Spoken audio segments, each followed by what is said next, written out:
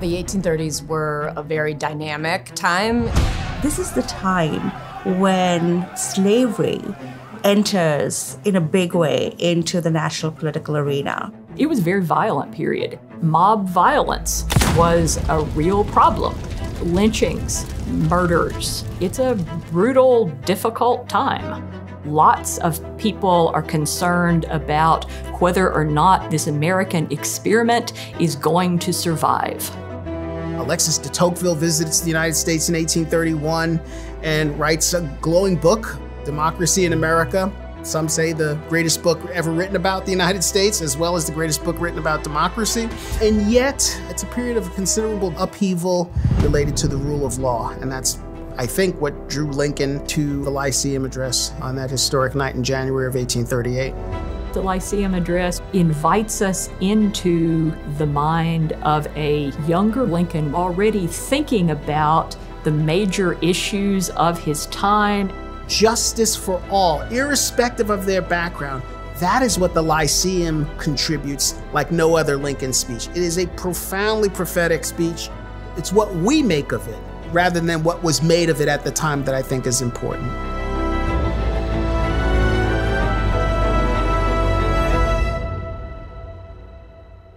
Abraham Lincoln was a self educated lawyer. He was extremely ambitious. He was very well read. He had educated himself. He came from humble beginnings. But what's remarkable about Lincoln is how thoughtful he is from a very young age. He moves from New Salem to Springfield, which becomes the capital of Illinois in 1837. Ultimately, he becomes an attorney and a state official, and that is the beginnings of his early political career right there in Springfield. Lincoln was invited to speak before a group that was called the Young Men's Lyceum of Springfield. These young men tended to debate questions that had to do with state and regional and national political issues. The word lyceum is from the Greek. It was the name of Aristotle's school. A lyceum is what we would call today a public lecture or an educational institution. Lyceums today might be something akin to your local library hosting guest speakers these organizations were seen to be fun. You could do well, you could do not so well. Lyceums were forums for the expression of democratic values and the virtues of what it means to be an American, how to be a good American, how to be a good person. And so the topics of the day were discussed there in a public setting. So Lincoln is invited to give this speech at the Lyceum. And for his topic, he chooses the perpetuation of our political institutions.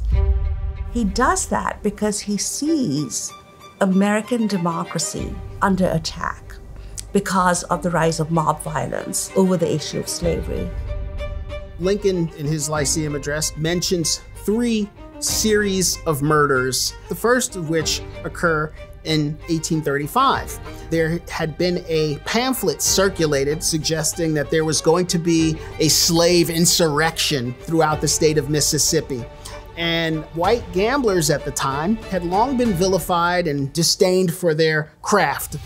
The fears stirred by this would be fanciful insurrection were directed towards them because these white gamblers were somehow responsible for helping and aiding and abetting this prospective black insurrection in Mississippi. Well, that wasn't true, but they were linked to it. So many people were hanged black people, white people, they just hanged them without any due process of law for being suspected slave rebels or assisting slave rebellion. Lincoln says they've left them hanging on the trees of Mississippi like the Spanish moss. And then we have the killing of the white abolitionist Elijah Lovejoy, who wrote very vehemently and increasingly so against slavery, but also condemned in harsh language the burning of Francis McIntosh, a free black man in St. Louis. Lovejoy was forced to leave St. Louis and set up his print shop in Alton, Illinois, southern part of Illinois, a free state. Nevertheless, he was tracked down and months later killed there in his printing press, famously thrown into the river.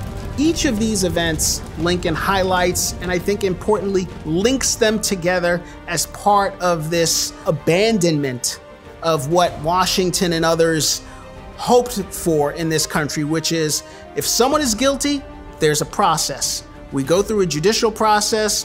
We don't just string people up on trees or shoot them or burn them. He goes on to explain why recourse to the rule of law and to the courts is the thing that can hold Americans together amid all of these disagreements and differences, that that's all we have.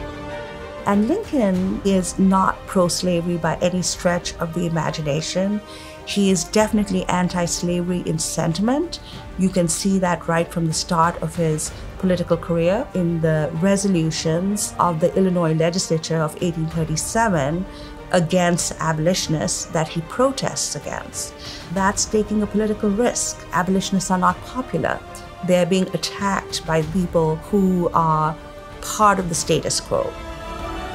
Lincoln saw this as the giving up to the passions rather than reason. Sober reason must be our salvation. Otherwise, we're going to fall prey to these passions that will lead the nation to commit what he calls suicide. It is certainly the case that features of the subject matter in 1837 resonate throughout American history. There are many moments of extreme violence. There are many moments of racially motivated violence. There are moments of mob violence. There are worries and concerns about the longevity of our democracy, the health of our democracy. Those themes and topics recur. So, looking at the way Lincoln and others of his time were grappling with these questions, it can help us think through our own present moment. One of the things that Lyceum activity did encourage was thoughtful reflection, debate, listening to others. There are features of this text that I think can help us think through for ourselves how we want to live our own lives.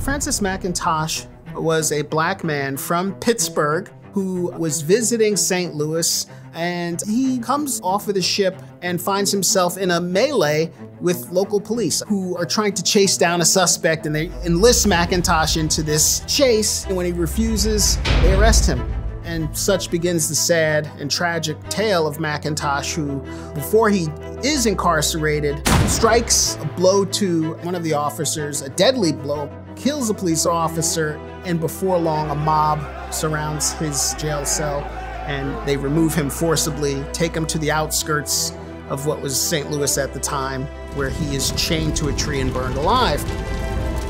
And they got away with it because when they were put on trial, a judge suitably named Judge Lawless, he actually let the mob go free.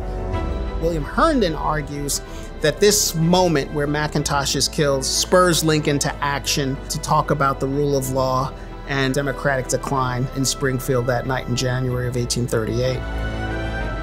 Lincoln is saying everyone is entitled to due process of law, and it's corrosive for our whole community and for the whole country if we succumb to our passions in this way.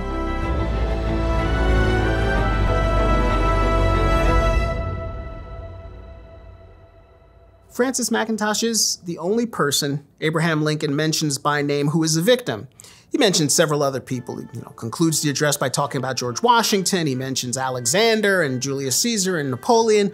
But of the victims, including the white victim Elijah Lovejoy, who wrote about McIntosh's murder, McIntosh is the only one Lincoln mentions by name. I think this is important in historic context, even today, after any number of deaths related to police brutality, we still find ourselves as a nation glossing over the names of black victims. For Lincoln to mention McIntosh by name is critical. It not only humanizes him, but it also suggests that this particular killing, racially motivated and based as it was, is an important element to this overall discussion of democratic decline. It's not just that the rule of law is being abandoned in a vacuum, it's connected to our history and present history at the time related to race. And Lincoln makes that connection, one that, incidentally, no other politician is making. And that makes the speech particularly impressive, but also unique.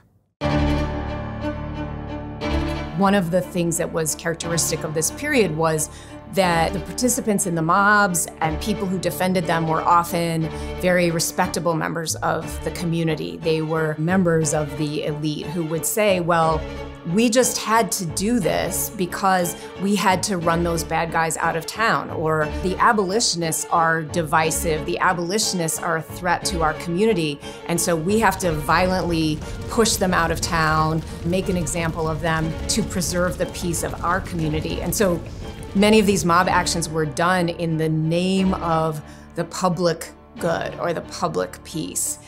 One of the things Lincoln is saying is it is never okay to participate in a mob or justify a mob. No matter how much you don't like what some person is doing, we should never resort to allowing our passions to overtake reason. And we have institutions that are designed to deal with conflict, and we need to use them. And if we don't, we are on the road to ruin. At the very beginning of the Lyceum Address, Lincoln describes the gifts of American democracy and that these gifts were bequeathed to us by the founders. The field has already been harvested. That's the language he uses in terms of glory. They set out this beautiful experiment in self government. Our job is to fulfill it by carrying it out. And that's where we come into the dangers lurking that Lincoln sees as threatening the possibility of this democratic experiment continuing. It's not going to come from abroad, he said, but it's going to come from ourselves. We must live together as free men or die by suicide, he says.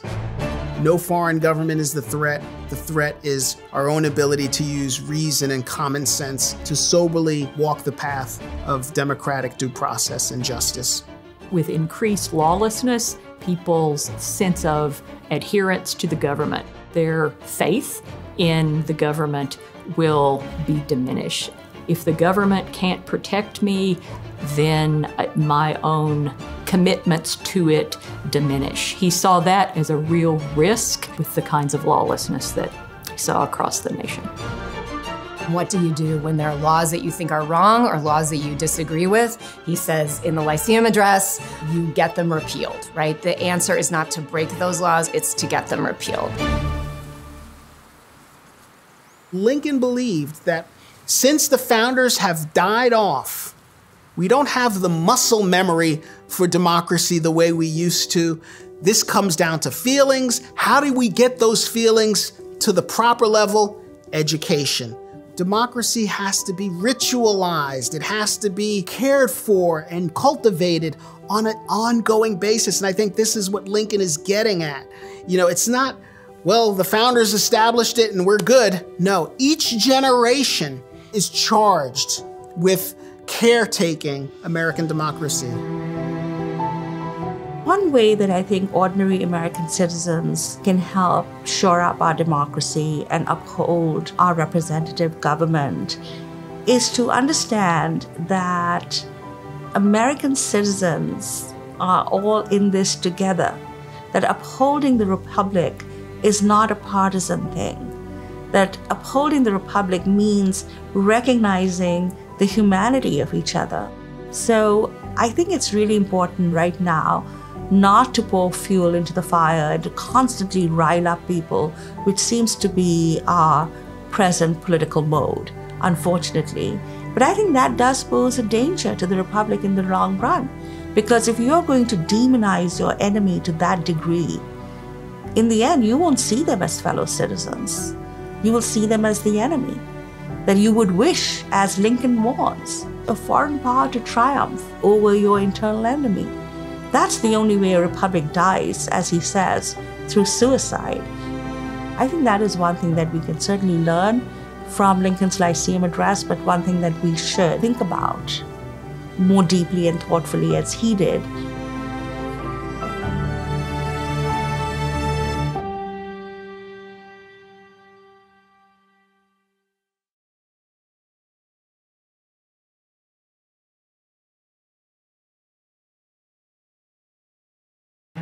It is to deny what the history of the world tells us is true, to suppose that men of ambition and talents will not continue to spring up amongst us. Lincoln is saying if you have just rampant lawlessness and the law abiding good people in the world are looking around and saying, What's in it for me? that opens the door to the possibility that someone who's ambitious, who's potentially tyrannical, can come in and say, I've got the answer. And the answer is power for me. I am going to save you from this chaos and this violence.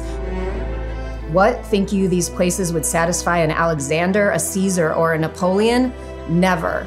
Towering genius disdains a beaten path. He's saying for ambitious men, like, will they be able to be satisfied in just maintaining the good thing that the founders built? Most certainly it cannot. Is it unreasonable then to expect that some man possessed of the loftiest genius coupled with ambition sufficient to push it to its utmost stretch will at some time spring up among us. And when such a one does, it will require the people to be united with each other, attached to the government and laws, and generally intelligent to successfully frustrate his designs.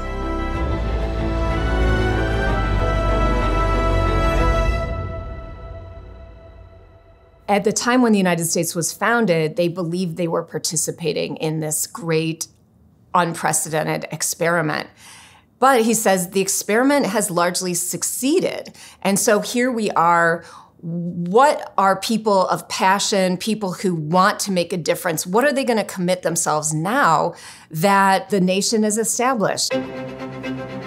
What happens when really ambitious men come forward who aren't content with just being a member of the legislature of Illinois or just being a lawyer? People who want more than that. He worries that people like that are going to look at what has succeeded about the United States and want to tear it down that they're going to see that the only way they can make a difference is by destroying what previous generations have constructed.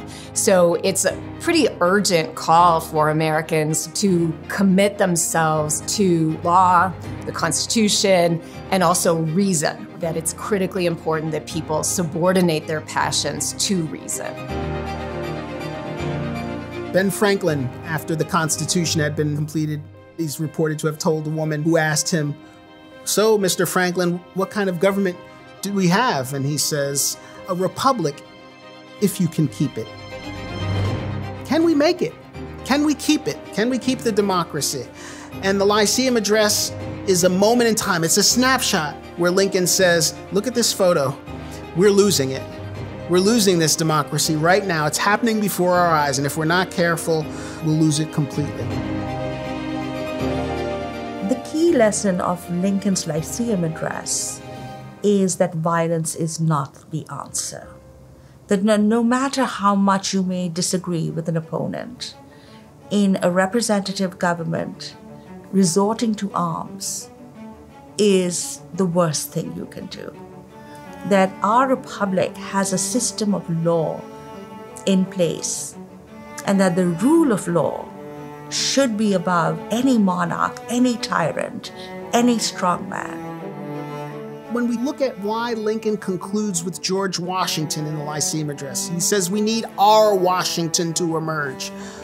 What's Washington? Who is Washington? Is he the general who crosses the Delaware River? Is he the general who inspires troops at Valley Forge? Alexander, Caesar, Napoleon, the tyrants that Lincoln references at the Lyceum Address, they could have done anything Washington did on the battlefield, and they did, and more, arguably. But what they could not do, the greatest gift Washington gives, is he stepped away from power. Personal restraint. To have all that power and greatness before you and to say, you know what? That's enough. It's someone else's turn. Lincoln's Lyceum Address was published in the Sangamon Journal, the complete text, the week after he presented it. The impact at the time, it's very hard to know. Nobody sent in letters to the editor. There wasn't compliment. There wasn't criticism. It was silent. That was very common. The response subsequently has been to see it as a really key touchstone moment for looking at the ways that Lincoln's public speech evolved through his career. I think the real contribution Lincoln makes, frankly, is for us today. It's for us to review the Lyceum Address as not just a part of the historical archive or a footnote to Lincoln's career, but what does it say to us? We're going to have in a large democracy like ours groups, ideas, ideologies that we really profoundly disagree with, maybe even revile. Nevertheless, in a multiracial democracy, we have to abide them.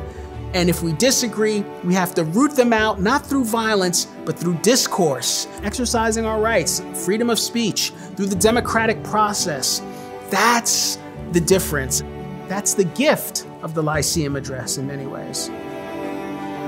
The reason why Lincoln's words are so timeless is because the issues that he addressed in his speeches still live on with us.